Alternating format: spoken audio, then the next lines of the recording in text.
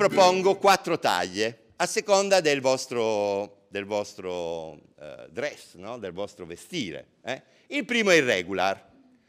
Sottotitolo, la scuola come la conosciamo. Io dal 1970 perché ho fatto la prima elementare. Non ho fatto l'asilo perché le suore mettevano il formaggio sulla pasta, non mi piace. E quindi mia madre mi portò via, porello.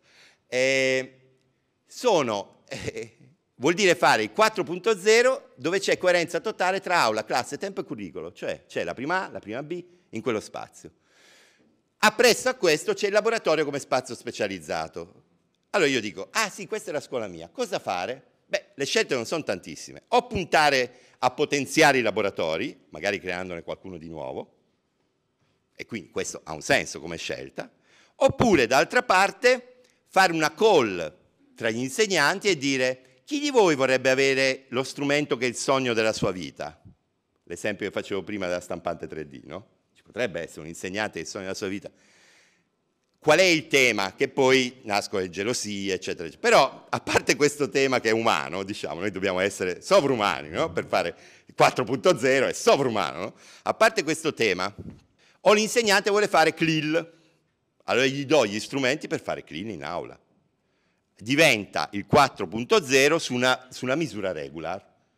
Non ho cambiato nulla nella scuola, la scuola è quella, ok? E questo sinceramente è, come dire, può essere la prima, la prima taglia.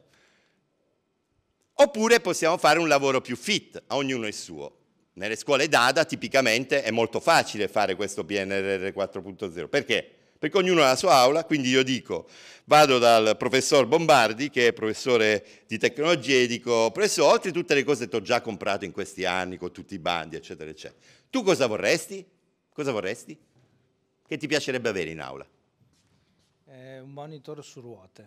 Perfetto, lui vuole il monitor su ruote. A quel punto, il 4. scusate la banalizzazione, ma non è, è, come dire, non è così banale, diventa la realizzazione del suo sogno d'aula, no? diventa automaticamente quello che lui fa in classe. Faccio un esempio sulle scuole elementari, una parete con i contenuti interattivi, una roba molto carina, va bene? Anche un po' wow, insomma, ecco, di storia, geografia, no? Può essere uno spazio. Certo, qual è l'alternativa? È metterlo nei laboratori. Però qui stiamo parlando del fit, cioè il fatto che ognuno ha suo, la sua aula e anche un laboratorio quindi tipo DADA. Appunto, le aule laboratorio sono tipicamente i fit, i modelli DADA. Qui propongo una roba un po' estrema, molto per le elementari, una cosa che ho proposto anche con scarso successo da me, le aule a righe a quadretti. Una roba molto, molto particolare, nel senso che se io ho due classi parallele, no? diciamo la quarta A e la quarta B, ok? Magari sono anche vicine, ok? Però voglio specializzare i due spazi. Attualmente la quarta A e la quarta B hanno le letterine e hanno i numeri dentro. Parliamo di elementari, eh? quindi hanno questo. Che faccio? Se gli insegnanti, della, le due coppie della quarta A e della quarta B si amano molto, e questo, il problema è questo decisamente, però noi, noi ci piace il mondo bello, capito? Quindi quando si amano molto potrebbero fare che cosa? La quarta A diventa l'aula A righe, quindi l'aula di italiano, dove vado a mettere tutti i materiali che servono per fare italiano in maniera innovativa, naturalmente, se no che stiamo a parlare, è 4.0. L'altra aula diventa l'aula dei due insegnanti. Naturalmente attenti che questa non è una scelta dei due insegnanti di matematica, dove dentro ci fanno matematica, scienze, geografia, insomma. Lì il problema è quello delle materie piccole che magari non sempre coincidono le accoppiate, però diciamo se già il grosso dell'orario, no? Mi prevede delle attività del genere, è molto interessante questa cosa perché diventano, in un ambito di non specializzazione, diventano delle aule laboratorio. Come dire, l'idea secondo me è molto, è molto, molto bella. Eh, naturalmente in questo modello salta la coerenza tra aula, classe e tempi e con il tempo, ricordiamoci sempre, salta anche il curriculum, perché anche in un'aula a righe a quadretti diventa un potenziamento di apprendimento non banale sulla specializzazione. Attenzione, che se io ho le aule a righe e quadretti cambia anche l'orario, che non è banale. Hm? Io poi sono sempre per le soluzioni di sistema, cioè per me che lo faccio una classe non mi serve a molto, però certe volte per fare la sperimentazione, innovazione, posso pure chiudere un occhio. Ecco.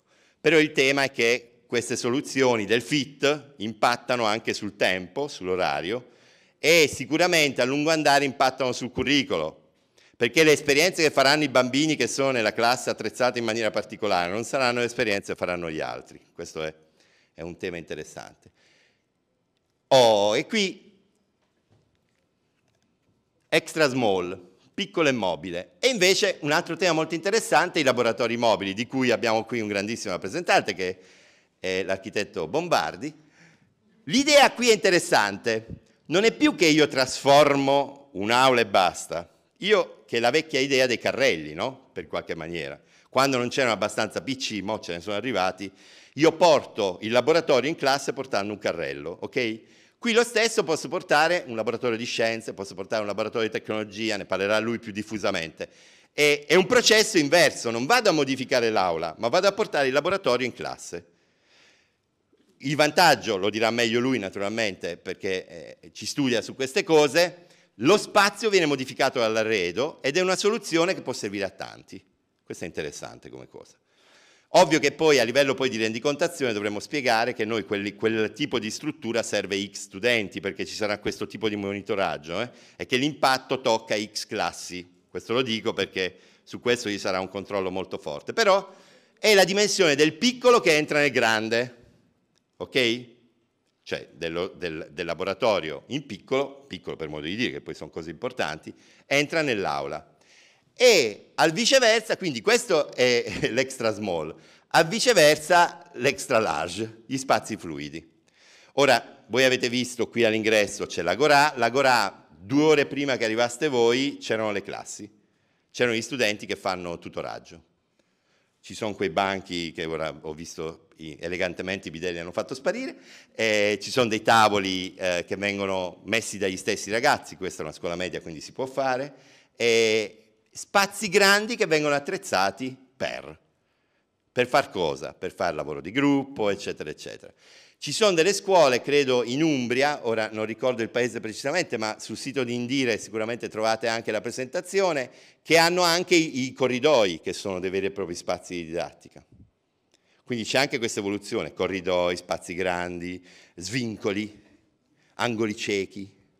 Eh, e, e l'altra dimensione, no? sono i grandi spazi, i corridoi, volendo anche l'outdoor, fuori, i gazebo, eccetera, eccetera. Eh, in questo caso è lo spazio grande che viene modificato.